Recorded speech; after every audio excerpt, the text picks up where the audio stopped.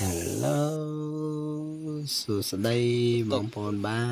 ទពេលនេះមកដល់ទឹកដីសៀមរាបទៅដែរបាទ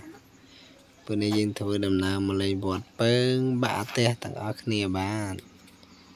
និយាយថាទៅសភាពស្អាតមែនទែនបងប្អូនអើយស្អាតខ្លាំងណាស់មើលទៅអូយស្រស់អំប្រងមែនទែនបាទនិយាយថាស្អាតមែនទែនបាទ ពេលនេះយើងធ្វើការមកទិញអីញ៉ាំសិនបាទទៅជាទឹកសុទ្ធស្ទិញបាទទិញភេសជ្ជៈទៅប្រគិនលោកចង់និយាយចឹងណានេះជួបយាយយាយចាស់ចាស់គាត់មកដែលនិយាយថាផ្លូវគេឡើងទូចហ្មងមកដល់រំដល់និយាយថាពិបាកមែនទែនបាទបងប្អូនបាទអើយនេះធ្វើការទិញស្ទិញសិនបាទពេលនេះយើងមកឡើងមកលើហើយបាទធ្វើការថតពើង និយាយថាស្អាតមែនទែនបាទអូយកន្លែងនេះបាទកន្លែងយើងប្រគិនភេជ្ជៈលោកបាទ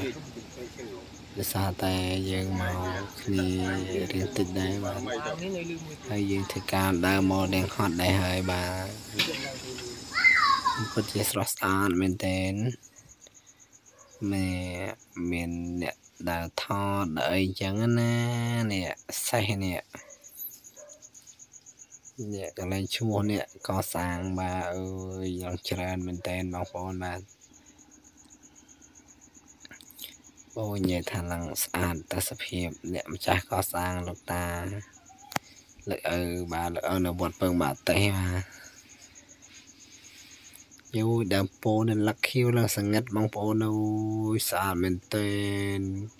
និយាយថាយ៉ាងមកនិយាយថាឡើងពេញចិត្តហ្មងណានេះ ហ្នឹងឯងដើមកាគីបងប្អូនទាំងអស់គ្នាបាទពេលយូរឆ្នាំទៅឈើនិយាយចឹងទៅឈើខ្លាចជាថ្មអញ្ចឹងណានេះថ្មនេះនិយាយថាឡើងស្អាតហ្មងគេយកមកតាំងអញ្ចឹងណាពេលមុនឈើទេប៉ុន្តែវាຕົកចោលអាយុកាលច្រើនទៅអាចកើតជាថ្មអញ្ចឹងណាមកអូយណោនេះជុំវិញនេះធ្វើការថតឯបងអូយកន្លែងនេះក្បាច់ស្អាតមែនទែនបាទដងតុងលងវែងហ្មងណា នេះអូយយថានេះអពាន់ទៀតស្អាតមែនទែនបាទកន្លែងហ្នឹងស្អាតមែនទែនពិតពើបាទតែបងប្អូនបាទនៅខេត្តសៀមរាបបាទជាងទៅយើងអាចជិះម៉ូតូទៅដល់បឹងវលាយើងអាចកិច្ចកាច់មកកើតត្រង់មកអាចដល់កន្លែងវត្តពើបាទទេបងប្អូនអើយនិយាយថាអូនេះព្រះឡងស្អាតមែនទែននេះអើយល្អខ្លាំងណាស់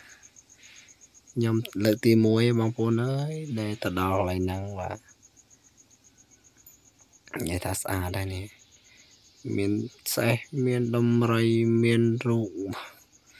ស្អាតស្អាតមែនទែនអ្នកផ្នែកហ្នឹងស្អាតត្បូងហ៎បងប្អូនបាទកន្លែងហ្នឹងស្អាតត្បូងណាបងប្អូនមកលេងអីតិចថាច្រឡំរើសត្បូងទៅផ្ទះទៅអីអត់បានទេឃើញស្អាតត្បូងទាំងអស់បាទកន្លែងថ្មស្អាតត្បូង ប៉ុន្តែកុំរើសទៅអីសួរថាមើលឲ្យទៅវិញហ៎បងប្អូននេះធ្វើការឡើងទៅលើវិហារខាងលើហើយបាន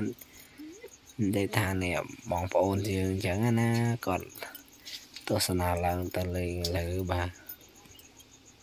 នេះទៅដើរប្រហែលកម្មដែររបស់គេដែរទៅប្រហែលជា100កម្មឯដឹងរំឡើងដល់លើវិហារលើបាទវិហារហ្នឹងនិយាយទៅធ្វើលើថ្មទេបងប្អូនបាទថ្មនឹងធំមែនទែន មានលាងមានអីនៅក្នុងហ្នឹងទេបាទបើមានអ្នកអឺចោះទៅ គឺភាកច្រើនក៏អាចបានត្រឡប់មកវិញទេដោយសារតែលាងហ្នឹងវាជ្រាវហើយយើង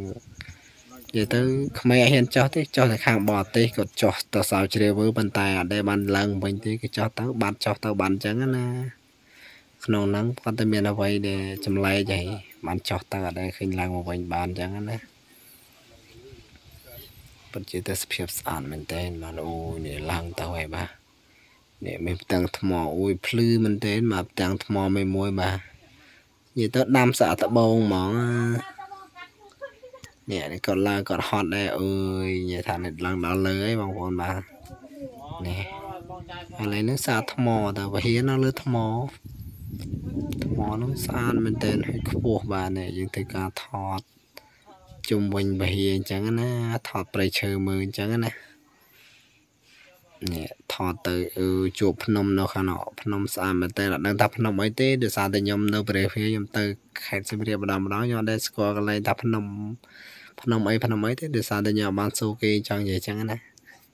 នេះថតផ្លូវដែលខ្ញុំជិះម៉ូតូមកនេះអូយនិយាយថាខ្ពស់មែនតើបាទនៅលើវិហារវិហារហ្នឹងនៅលើថ្មទេ ទូចដែរទេវិហារនេះប្រហែលជា10ម៉ែត្រ4ជ្រុងទេបាទ